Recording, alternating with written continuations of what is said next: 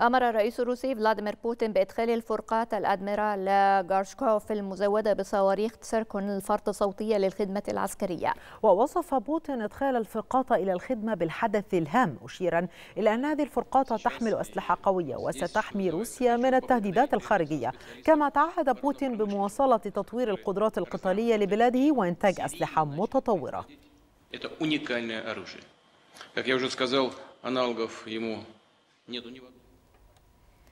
من جانبه أوضح وزير الدفاع الروسي سيرجي شويغو أن الفرقاط الأدميرال جوشكوف ستبحر المحيطين الأطلسي والهندي والبحر المتوسط وأكد وزير الدفاع الروسي أن الفرقاط ستجري خلال إبحارها تدريبات باستخدام صواريخ سيركون الفرط صوتية главных командований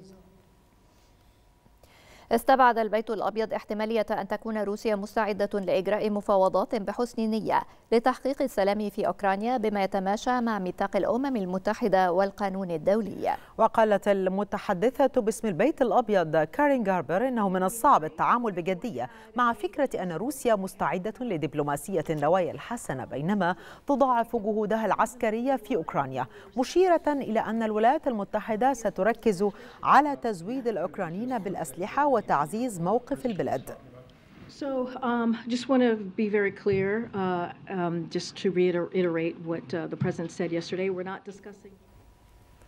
قالت وزيرة خارجية ألمانيا أنالينا بيربوك أنه يجب الاستمرار في إرسال الدعم العسكري لأوكرانيا وأضافت وزيرة الخارجية الألمانية أن العملية العسكرية الروسية في أوكرانيا هدفها تدمير كييف على حد قولها وشددت المسؤولة الألمانية على ضرورة الحفاظ على وحدة الدول الأوروبية die anstehenden Festtage erleben müssen.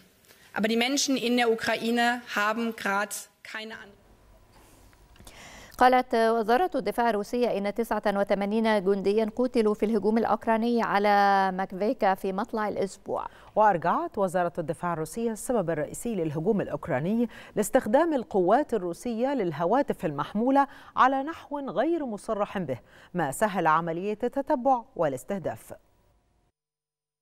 قصف متبادل في أوكرانيا مع تصاعد وتيرة التطورات الميدانية وتواصل العمليات العسكرية في مسعى من القوات الروسية لبسط السيطرة الكاملة على مناطق أوكرانية وضرب مواقع لتمركز قوات كييف فيما تحاول الأخيرة استعادة بعض الأراضي بدعم عسكري ولوجستي. ومع ارتفاع حدة القصف العنيف بين الطرفين الروسي والأوكراني أعلنت كييف حالة التأهب الجوي في مقاطعات تشيركاسي ودنيبروبتروفسك وبولتافا وخاركيف كييف وزابوريجيا في وقت تواصل القوات الروسية تقدمها تدريجيا وتسيطر على زمام الأمور في خطوط المواجهة في لوهانسك ودونيتسك تصاعد الهجوم الروسي جاء ردا على ضربة صاروخية أوكرانية براجمة هيمارس استهدفت مركزا للقوات الروسية في ماكيفكا شرق أوكرانيا مما أسفر عن مقتل عشرات القتلى من الجنود الروس. وبحسب الجانب الأوكراني فإن القوات الروسية تركز جهودها على القيام بأعمال هجومية في منطقة منطقة باخموت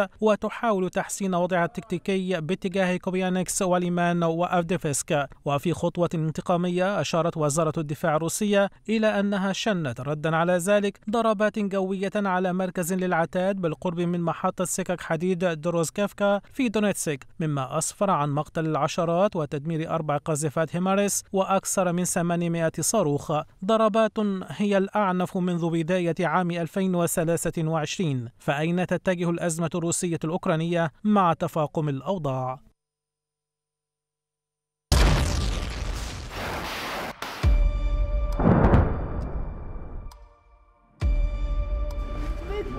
проклятые.